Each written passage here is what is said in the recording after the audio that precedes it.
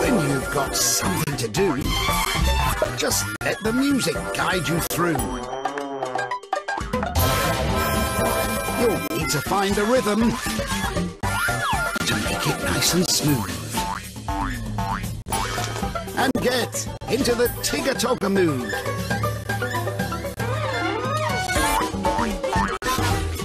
Tigger and Togger every day on Jim Jam.